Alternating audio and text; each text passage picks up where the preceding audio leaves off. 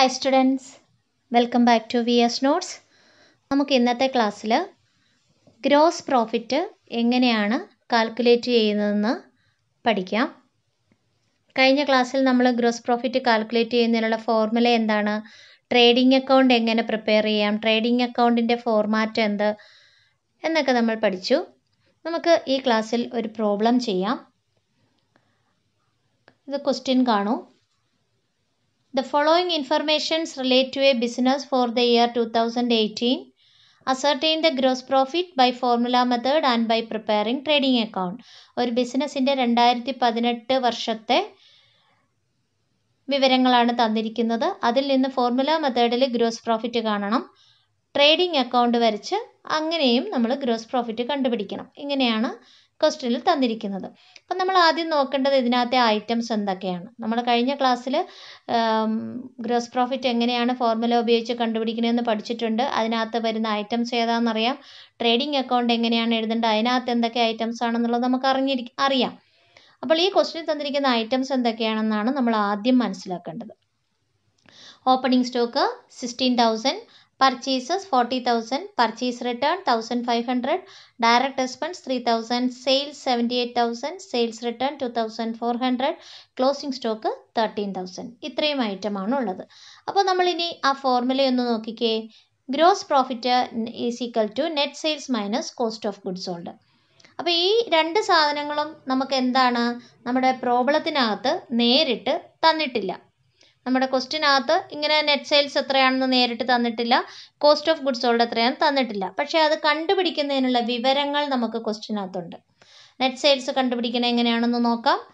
Total sales minus sales return അപ്പോൾ അതിന്റെ വില നമ്മൾ അവിടെ അപ്ലൈ ചെയ്യുക. സെയിൽസ് എഴുപത്തെട്ടായിരം എന്ന് തന്നിട്ടുണ്ട്. സെയിൽസ് റിട്ടേൺ രണ്ടായിരത്തി നാനൂറ് എന്ന് തന്നിട്ടുണ്ട്. ഇവിടെ നിങ്ങൾ നോക്കേണ്ടത് ക്വസ്റ്റിനകത്ത് സെയിൽസ് എന്ന് മാത്രമേ ഉള്ളൂ. അപ്പോൾ അവിടെ ഒരു സെയിൽസേ ഉള്ളൂ. അതല്ലാതെ ക്വസ്റ്റിനുള്ളിൽ ക്യാഷ് സെയിൽസ് ഇത്ര എന്ന് തരുന്നു. ക്രെഡിറ്റ് സെയിൽസ് ഇത്ര എന്ന് തരുന്നുണ്ടെങ്കിൽ നമ്മൾ അവിടെ എന്ത് ചെയ്യണം? ടോട്ടൽ സെയിൽ കാണണം. അത് എന്ത് ചെയ്താൽ മതി? ഈ ക്യാഷ് സെയിൽസും ക്രെഡിറ്റ് സെയിൽസും കൂടെ ആഡ് ചെയ്താൽ മതി. കൂട്ടിയെടുത്താൽ മതി. ഓക്കെ ഇവിടെ ഇപ്പോൾ ക്വസ്റ്റ്യനിൽ നമുക്ക് ഒരു സെയിൽ ഒന്നിച്ചിങ്ങ് തന്നിരിക്കുകയാണ്. അപ്പോൾ ആ ഫിഗർ മാത്രം കൺസിഡർ ചെയ്യുന്നു. സെയിൽസ് റിട്ടേൺ കുറയ്ക്കുന്നു. നെറ്റ് സെയിൽസ് കണ്ടുപിടിക്കുന്നു. അടുത്ത് നമ്മൾ എന്ത് ചെയ്യണം? കോസ്റ്റ് ഓഫ് ഗുഡ്സ് സോൾഡ് കണ്ടുപിടിക്കണം. അപ്പോൾ അതിനു മുമ്പ് കോസ്റ്റ് ഓഫ് ഗുഡ്സ് സോൾഡ് കണ്ടുപിടിക്കണമെങ്കിൽ നമുക്ക് ടോട്ടൽ പർച്ചേസ് അറിയണം. ടോട്ടൽ പർച്ചേസ് എന്ന് പറയുന്നത് നേരിട്ട് ഒരു പർച്ചേസോ ഉള്ളെങ്കിൽ അത് എഴുതുക. അതല്ലെങ്കിൽ ക്യാഷ് പർച്ചേസും ക്രെഡിറ്റ് പർച്ചേസും സെപ്പറേറ്റ് തന്നിട്ടുണ്ടെങ്കിൽ അവ ആദ്യം കൂട്ടുക. എന്നിട്ട് അതിൽ നിന്ന് പർച്ചേസ് റിട്ടേൺ തന്നിരിക്കുന്നത് കുറച്ചാൽ നെറ്റ് പർച്ചേസ് കിട്ടും. ഇനി ക്വസ്റ്റിനകത്ത് നെറ്റ് പർച്ചേസ് റിട്ടേൺ ഇല്ല അല്ലെങ്കിൽ സെയിൽസ് റിട്ടേൺ ഇല്ല എന്ന് വിചാരിക്കൂ കുറയ്ക്കണ്ട തന്നിരിക്കുന്നത് നമുക്ക് നേരിട്ട് അപ്ലൈ ചെയ്യാനായിട്ട് പറ്റും. ഓക്കെ ഉണ്ടെങ്കിൽ കുറയ്ക്കുക ഇല്ലെങ്കിൽ നമ്മൾ ഒന്നും ചെയ്യേണ്ട അത് നേരിട്ട് എഴുതുക. അപ്പോൾ ഇവിടെ നെറ്റ് പർച്ചേസ് എത്രയാണെന്ന് കണ്ടുപിടിക്കണം കാരണം പർച്ചേസ് റിട്ടേൺ തന്നിട്ടുണ്ട്. അപ്പോൾ ടോട്ടൽ പർച്ചേസ് നാൽപ്പതിനായിരം പർച്ചേസ് റിട്ടേൺ ആയിരത്തഞ്ഞൂറ് അവ കുറച്ച് കഴിയുമ്പോൾ thirty eight thousand five hundred എന്ന് കിട്ടും. ഇനി നമ്മൾ എന്താണ് കണ്ടുപിടിക്കേണ്ടത്? കോസ്റ്റ് ഓഫ് ഗുഡ്സ് സോൾഡ് കണ്ടുപിടിക്കാനുള്ള സംഭവങ്ങളെല്ലാമായി.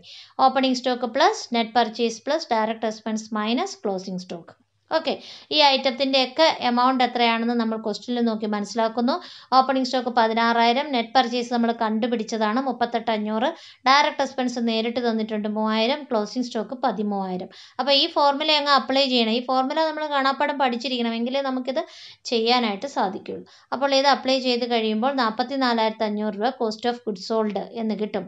ഓക്കെ ഇനി നമുക്ക് ഫൈനൽ ഫോർമുല അപ്ലൈ ചെയ്യാം. Gross profit is equal to net sales minus cost of goods sold net sales എത്രയാണ് നമ്മൾ കണ്ടുപിടിച്ച് വെച്ചിട്ടുണ്ട്? Seventy five thousand six hundred cost of goods sold forty four thousand five hundred അവ തമ്മിൽ കുറയ്ക്കുമ്പോൾ thirty one thousand one hundred എന്ന answer കിട്ടും. ഇതായിരിക്കും ഗ്രോസ് പ്രോഫിറ്റ് ഇനി ഇതേ ഐറ്റംസ് വെച്ചിട്ട് നമ്മൾ ട്രേഡിംഗ് അക്കൗണ്ട് പ്രിപ്പയർ ചെയ്താലും ഇതേ ഫിഗർ തന്നെ ഗ്രോസ് പ്രോഫിറ്റ് കിട്ടണം. അപ്പോൾ ട്രേഡിംഗ് അക്കൗണ്ടിന്റെ ഫോർമാറ്റ് ഓർമ്മയുണ്ടല്ലോ? ഇങ്ങനെ കോളം വരയ്ക്കുക. Trading account for the year ഉണ്ടെന്ന് ഹെഡിങ് എഴുതുക. Particulars column amount column particulars column amount column debtor C R C R D R എന്ന് മേളിൽ കണ്ടല്ലോ. ഡെബിറ്റ് സൈഡും ക്രെഡിറ്റ് സൈഡും ഇനി നമ്മൾ അതിന്റെ ഫോർമാറ്റിനകത്ത് പഠിപ്പിച്ചപ്പോൾ ഞാൻ പറഞ്ഞിരുന്നു. അതിനകത്ത് ഡയറക്റ്റ് എക്സ്പെൻസുകളാണ് ഡെബിറ്റ് സൈഡിൽ വരിക. ഇൻഡയറക്റ്റ് എക്സ്പെൻസ് ആണ് ക്രെഡിറ്റ് സൈഡിൽ വരിക. ഏതൊക്കെ ഐറ്റമാണ് വരുന്നതെന്ന് ഫോർമാറ്റ് നമ്മൾ വിശദീകരിച്ച് എഴുതിയിട്ടുണ്ട്. തുടങ്ങുന്നത് ഓപ്പണിംഗ് സ്റ്റോക്ക് വെച്ചാണ്. രണ്ടാമത് എഴുതേണ്ടത് പർച്ചേസസ് ആണ്. പർച്ചേസ് റിട്ടേൺ ഉണ്ടെങ്കിൽ കുറച്ച് കാണിക്കണം. പിന്നെ എഴുതേണ്ടത് ഡയറക്റ്റ് എക്സ്പെൻസ് ആണ്. ചിലപ്പോൾ ഡയറക്റ്റ് എക്സ്പെൻസിന്റെ വിവിധ ഐറ്റംസ് ആയിരിക്കും തരുന്നത്. കാരണം ഡയറക്റ്റ് എക്സ്പെൻസ് എന്ന് പറഞ്ഞ ഒറ്റ എമൗണ്ട് ആയിരിക്കില്ല. പകരം വേജസ് ഇത്ര റോയൽറ്റി ഇമ്പോർട്ട് ഡ്യൂട്ടി എന്നൊക്കെ പറഞ്ഞിട്ടായിരിക്കും വരിക. അപ്പോൾ അങ്ങനെ വരുമ്പോൾ ആ- ഐറ്റംസ് എല്ലാം താഴെ താഴെ നമ്മൾ എഴുതേണ്ടി വരും. അതുപോലെ തന്നെ ക്രെഡിറ്റ് സൈഡിൽ രണ്ട് ഐറ്റംസേ ഉള്ളൂ സെയിൽസും ക്ലോസിംഗ് സ്റ്റോക്കും സെയിൽസ് റിട്ടേൺ ഉണ്ടെങ്കിൽ അതും കുറച്ച് കാണിക്കണം. ഇത്രയുമാണ് നമ്മൾ ഫോർമാറ്റിൽ പഠിച്ചിരിക്കുന്നത്. അതും നമുക്ക് ഇവിടെ അപ്ലൈ ചെയ്ത് നോക്കാം. ഓപ്പണിംഗ് സ്റ്റോക്ക് ആദ്യം എഴുതേണ്ട ഐറ്റമാണ് അതിന്റെ എമൗണ്ട് എഴുതുന്നു. പതിനാറായിരം. അടുത്ത ഐറ്റം പർച്ചേസസ് ആണ്. പർച്ചേസ് റിട്ടേൺ കുറയ്ക്കുക ഉണ്ടെങ്കിൽ ഇവിടെ ഉണ്ട്. അതുകൊണ്ട് അത് ലെസ് റിട്ടേൺസ് എന്ന് എഴുതി കുറച്ച് ബാക്കിയുള്ള തുക നമ്മൾ ഔട്ടർ എമൗണ്ട് കോളത്തിൽ എഴുതുന്നു.